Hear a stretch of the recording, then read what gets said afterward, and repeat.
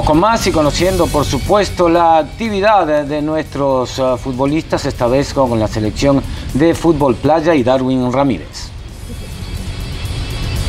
Darwin Ramírez uno de nuestros guerreros de playa originario de la Barra de Santiago, que ha participado con nuestra selecta playera en tres de los cuatro mundiales que El Salvador ha competido, desde Dubái 2009, Ravenna 2011 y Tahití 2013. Con una vasta experiencia en otros torneos, es uno de los pilares del azul y blanco que dirige Rudy Gallo. Lamentó que por la pandemia se suspendieran los torneos en los que participarían, pero lo más importante es la salud en todo el país. Bueno, hablar de los últimos eventos que se han cancelado por la selección de fútbol playa creo que nos ha afectado mucho, creo que se nos ha parado nuestro trabajo, este, nos ha perjudicado mucho, pero hay que acatar las medidas, creo que la enfermedad del COVID-19 es una enfermedad que está atacando mucho a nuestro país pero confiando en Dios que pase pronto. Ramírez habló de los entrenamientos que realizan bajo la supervisión de Rudy Gallo durante este tiempo de cuarentena y que espera pronto pase esta situación para volver a los microciclos de trabajo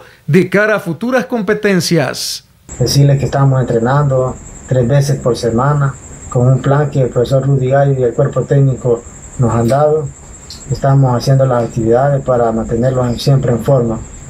Hablar de, la cuarentena, que qué va a pasar. Después de la cuarentena, decirle que confiamos en Dios que pase luego, que pase pronto. Y confiando en Dios que estemos bien de salud y, y poder incorporarlos nuevamente a la selección. Darwin, aparte de sus entrenamientos, se dedica a la pesca para llevar el sustento a su familia, contando con el apoyo económico del INDES para su trabajo con la. Ellos se sienten comprometidos con el país para buscar otra clasificación a un mundial que se les ha negado en los últimos años. Hablar de, de la Federación de Fútbol Playa, agradecido con ellos, agradecido con el INDES porque siempre hemos tenido el apoyo, más en esta situación que estamos pasando decirles que estamos sumamente agradecidos con, ellos, hablar este de, los tres mundiales, creo que es un, es un momento, han sido momentos duros, creo que no hemos podido clasificar, pero decirle a la afición que hemos puesto nuestro máximo esfuerzo, pero Dios sabe cómo lleva las cosas, Dios sabe por qué no pudimos clasificar, estuvimos a punto, pero eso no vale, eso no importa, pero en nuestro trabajo estamos satisfechos porque dimos el máximo esfuerzo. Decirle a la afición que confíen en nosotros, que primeramente Dios, después de toda esta situación que estamos pasando, vamos a, estar en otra eliminatoria, primero Dios, y allí vamos a luchar para regalarle una alegría más al pueblo salvadoreño. Nuestros seleccionados esperan en el próximo premundial de CONCACAF lograr la clasificación a su quinto mundial para la alegría de nuestra afición.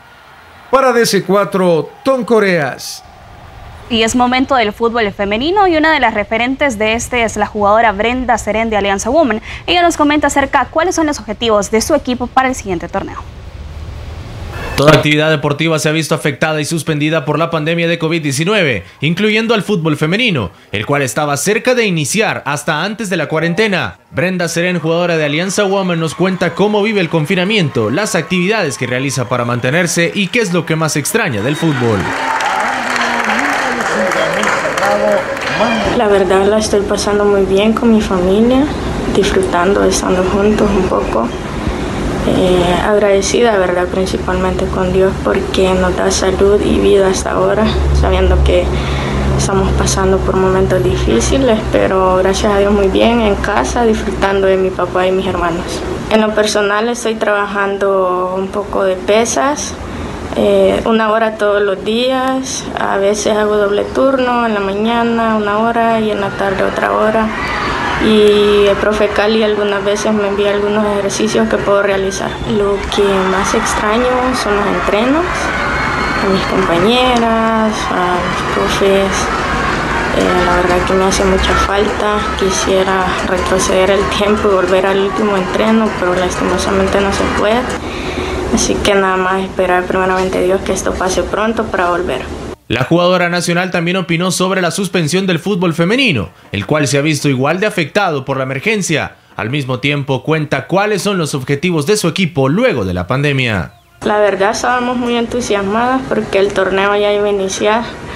Lastimosamente ya no se pudo, pero pues nada, esperando en Dios de que podamos volver pronto a las canchas y confiando que vamos a volver mucho mejor que antes. Nuestro objetivo ahorita es prepararnos de la mejor manera para poder ganar el campeonato y luego pensar en el torneo internacional. Brenda también comentó que otras actividades está realizando mientras no puede desarrollar el fútbol. También envió un mensaje a los salvadoreños. Gracias a Dios me gradué una semana antes que iniciara la cuarentena.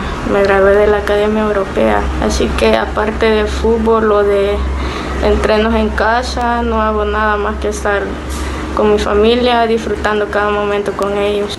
Aprovecho la ocasión para enviar un saludo especial a todos los salvadoreños que están luchando contra esta pandemia, a las enfermeras, a los doctores, a las doctoras, policías y militares que están arriesgando sus vidas para salvar las nuestras.